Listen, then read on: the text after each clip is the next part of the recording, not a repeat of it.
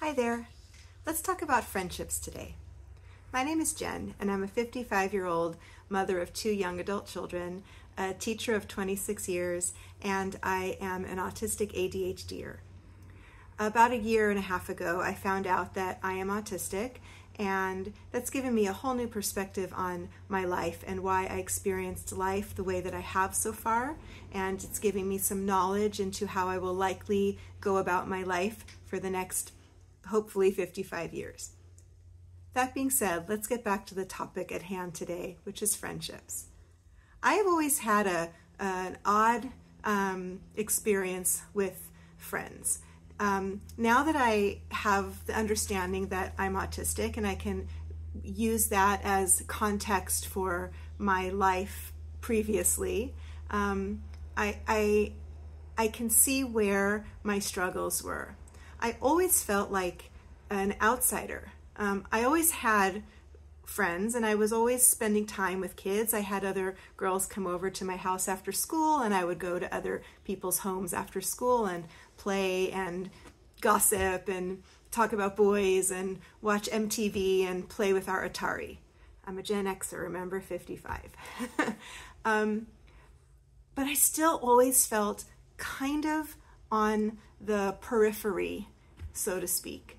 Um, never quite feeling like I got exactly what was going on with the people that I spent time with.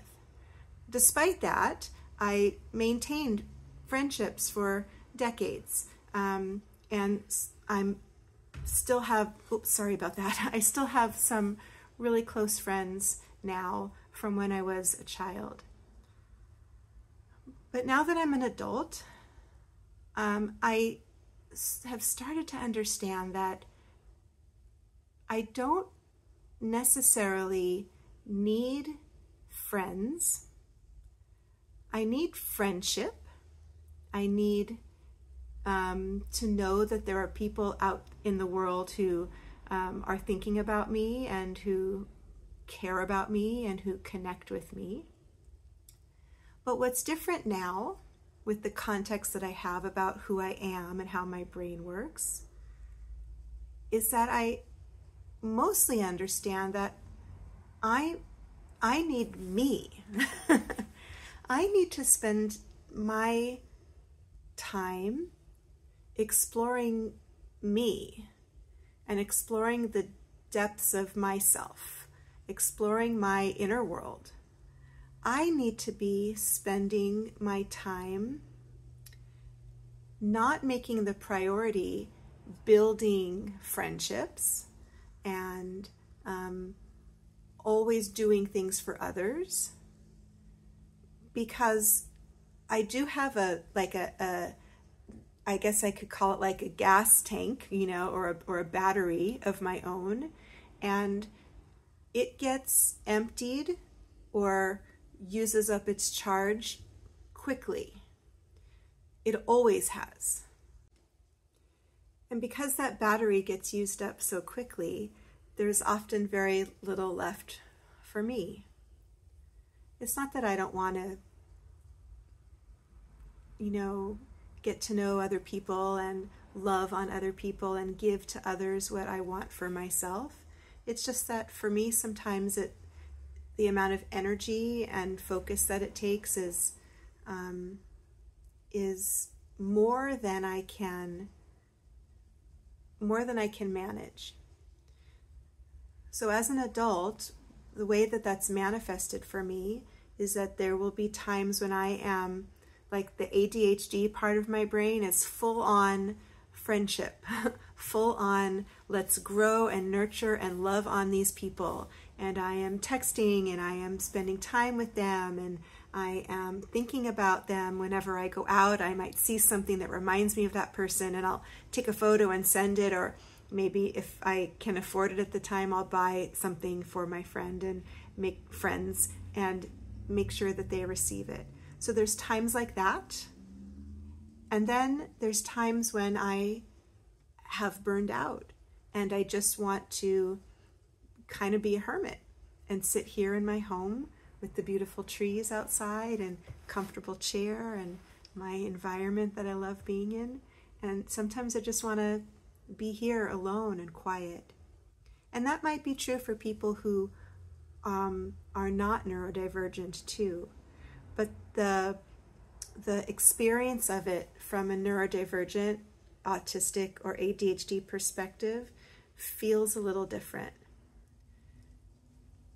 Let me explain that to you. So, uh, I'm going to be a teacher for a moment. In the word autism, there's the root aut, A U T, which is the same root that's in autonomy, which means, you know, being able to care for yourself. It's the same root that's in author, which is one writer. It's the same root that's in automobile, which is one driver. So with autism, that root is like oneness. I tend to be most comfortable in my oneness, in myself. I tend to be most comfortable in my internal world. It's safe. I mostly understand it. And when I don't understand something in my internal world, I get to figure it out on my own time. The external world, for me, being an autistic, sometimes feels dangerous, sometimes feels very unknown, sometimes feels like people are speaking a language that I don't understand. So because my my experience of the world is is that is auto autistic it's centered on me to people who haven't had this experience don't have this experience my oneness can come off being narcissistic sometimes.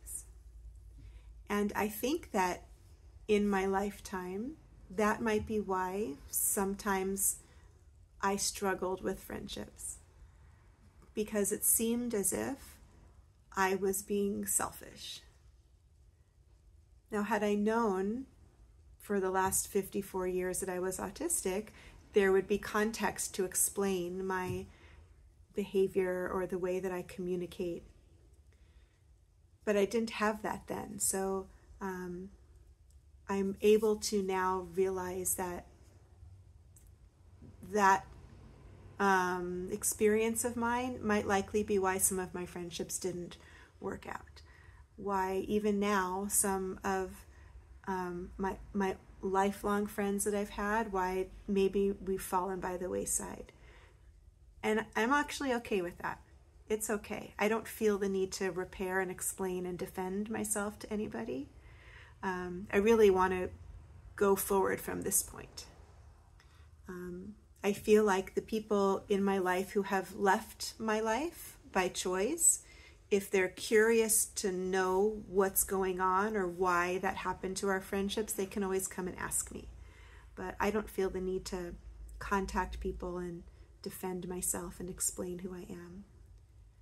But to the people I've met recently, um, I guess that's why I'm making this video because in in the time that I'm taking to learn about and understand myself and my brain and how I experience the world. I I want you my new friends and my my tribe to know that um, when I check out or when I don't respond or if I don't make videos for a period of time or if I don't answer comments or if I am just generally not available, it's because my battery is dead. um, and it's because I need to take some time to process, to be alone, to be with my own oneness.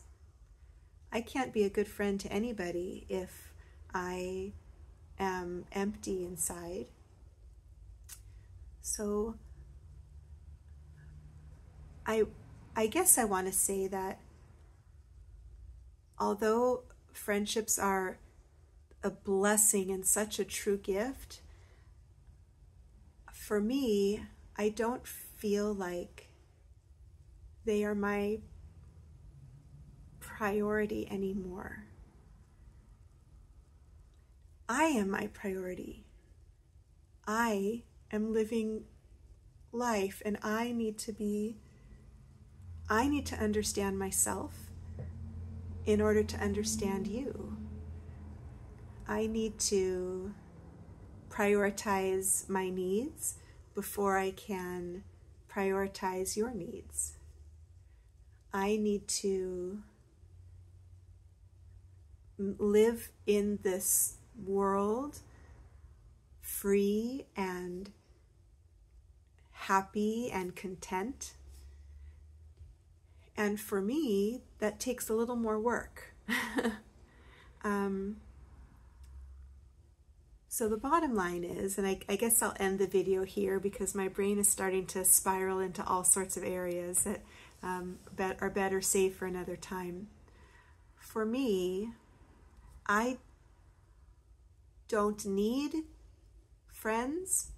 I'm grateful for you and I'm grateful for my friends. But what I need more than anything is to just have a fabulous relationship with myself. And if I can give that to you, if I can give that um, experience to you, if I can teach you to prioritize your needs, then I think that that can be the makings of a beautiful relationship for anybody. Yeah. I think a lot of us forget that um, we have to take care of ourselves in order to be good for others.